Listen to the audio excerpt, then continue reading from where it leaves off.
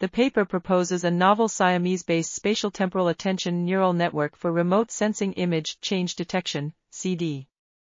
The proposed method models the spatial temporal relationships between pixels in two co-registered images taken at different times, which improves the performance of CD methods.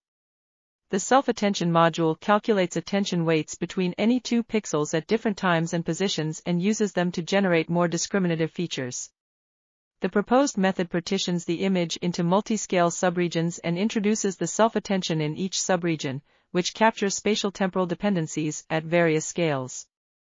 Experimental results show that the proposed attention module improves the F1 score of the baseline model by 3.4% with acceptable computational overhead. The paper also introduces a new CD dataset LEVIR-CD, which consists of a large set of bitemporal Google Earth images and over 31k independently labeled change instances. This article was authored by Hao Chen and Zhenwei Shi. We are RTCL.TV, links in the description below.